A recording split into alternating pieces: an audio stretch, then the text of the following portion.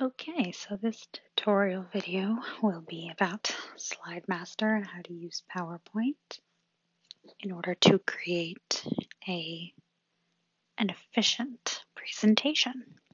So the first thing you want to do, obviously, is open up PowerPoint and create a new presentation.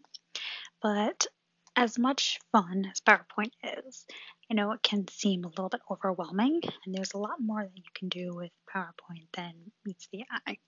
So the first thing we're going to cover today is Slide Master and how it's an easy tool and it's very useful to design a presentation because it helps you vary the layout and content of your slides um, so you can quickly change the font color, theme of your entire presentation quickly. Okay, so the first thing we want to do is to go to Slide Master. So Slide Master, when you open it, all of these little subslides pop up and they're pretty much just um, a layout or kind of a showing of every single slide type that you could possibly have. So this is the master title slide, obviously, since it says that. So something that you can do with these is you can create a background or you can add any colors and whatever you do to this slide will happen to all the other slides. You want to do this theme. You can see what this theme looks like on every slide. Say you didn't like this theme or you didn't like the colors, you can simply just choose another one and you can see what all of these slides look like in each different layout. So Slide Master sets up the basic design of the slide, of the presentation that you want. So you want to insert this layout and theme into the main presentation. So if you were to close Slide Master, you can see that this theme still carries over into your other slides. If you create a new slide or if you create a new type of slide, you can see that these all flow with whatever your design is. So if you go back into Slide Master, you can edit one of these and you can go, or we can actually edit the title slide. So let's say you want to change this font because you don't like it. You can change it to whatever you'd like. And that changes all of the master title slides. You can also do the same with these. So you can change this presentation. And then if you were to go into normal view, then you see that this pops up. So we can continue editing Slide Master a little bit so you can see what these will all look like.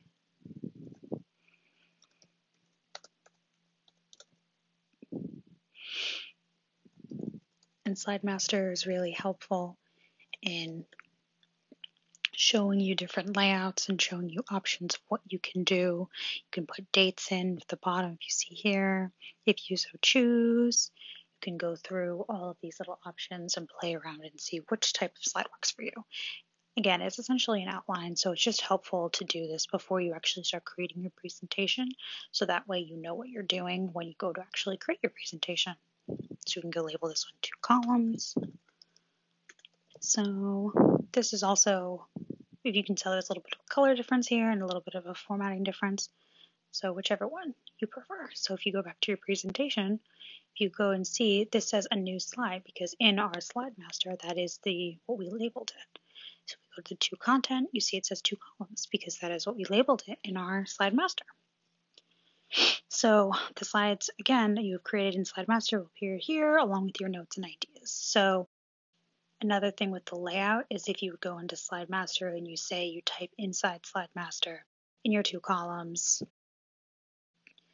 insert data table one here. Then when you go to actually create your presentation, you'll see that in two columns you have this laid out so you know to insert your data table. There you go. And it also matches the theme of your presentation too, which is very helpful. So another option just for creating a good PowerPoint in general is to insert all of your pictures first. Let's go to another one. So let's insert a picture. And let's go, we can insert this one. And then go to to design, and this actually popped up for me, but you go to design, you go to design ideas, and then all of these different options come up. And this is very important to do to vary all of your slides. So say you can have two of the exact same slide, let's say. So let's insert another slide that is just a title and content. That also says a new slide. You see, all these new design ideas will pop up on the slide too that all match the theme. So say we need another picture in. Let's go here, or let's go to data table, or a screenshot of a data table, I should say. And then all these will pop up. You have options to create text here if you want them. Say you don't want text in them and you just want your content, you can just do title only. You can add a title if you want, or say you just want to insert pictures, picture from file, you can go and you can find your data table and insert it. Let's call this one table 2. And then all these design ideas will pop up. It's a super, design ideas is a super helpful tool. You could also format backgrounds, say if you want different colors in something, different gradients, say you want to change the background, you could also do that here. Picture or texture fill, you can insert a picture. Say you want this as your background or something along those lines. You can easily do that. Um, there's a ton, you have a ton of options to do with PowerPoint to customize your presentation to do whatever you'd like. Now, changing the layouts of your slides, like I've been showing you how to do, is very important in creating a good and organized presentation. While this obviously is very basic and very bare bones, you can do a whole lot with your presentation once you actually get it going. You can do fun transitions. You can, I would especially recommend timing yourself um, when you actually go to record slideshow, record, rehearse timings. That way, so you know what you're doing. If you go to the presenter view, it shows you a very detailed layout of your presentation and it times you as well so you see what you're so that's what you see when you actually go to present your presentation so this presentation I created is just a more detailed and I spent more time on it than the previous one. Um, this one, while it only has six slides, this is pretty much the length that you want to kind of achieve if you have something like a data presentation, which is pretty much what I set this up for. Um, you don't want too much text on your slide. Um, you don't want anything more than really the captions for the pictures. I don't have captions here as much as I just have a little bit of text. This isn't obviously perfect, but it is something that you can look at and kind of see that there's all the slides look pretty much different.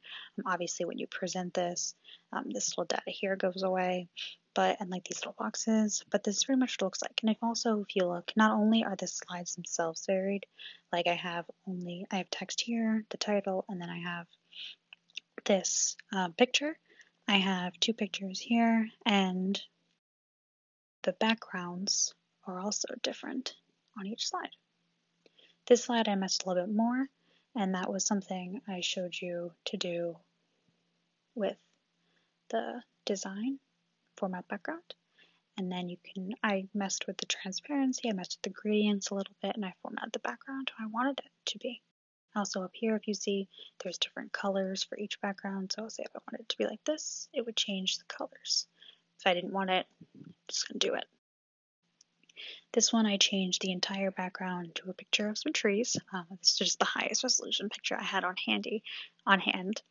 But you can see it says picture or texture fill, and then I inserted inserted it from file like I showed in the previous clip with the previous presentation, with the previous PowerPoint presentation which is why it says background picture with text over.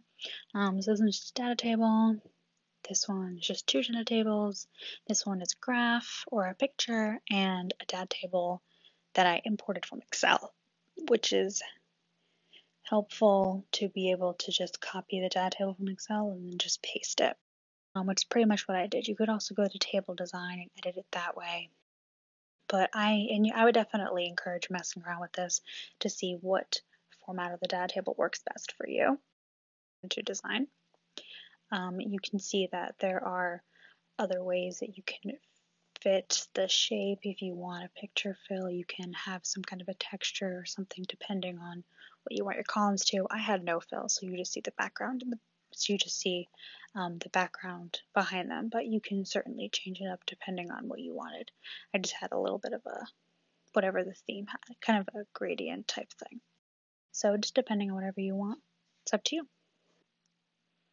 On the next slide that I have, I have a graph that I actually imported in from Excel. So if you hover over the graph, you'll see that it has all these data points actually in. So rather than a picture of a graph, which is what this one is, this is just an image. That works fine too, but this is actually a graph itself that you can edit pretty much like in Excel. You can go to Insert, Chart Design, and add a new chart element, which is pretty much what I did. With this, there's tons of different charts you can do. Say if you didn't like how this one was looking, you could pick a different style. I liked this one because if this one was too see-through, you really couldn't absorb anything that was on the chart. If you want something darker, you could do that. I liked the lighter option because everything else on the PowerPoint was lighter, which is why I did that one. Um, but besides that, um, it's pretty self-explanatory, pretty easy to do, just put a graph on it. So yeah, we can go, before I finish, I want to show my slide master view that I created. So I had, I changed the font design. I changed the font for this one. I had, this wasn't the original theme font. I showed you how to do that also. I changed this. I said data here so I would remember what to put. Then I have picture of data, second picture of data, but they're all a little bit different if you can see. So they're pretty off terms in terms of background, in terms of layout, which is what I tried to vary when I created my presentation. I hope this presentation helped and taught you a little bit about SlideMaster and about PowerPoint in general. And thank you for watching.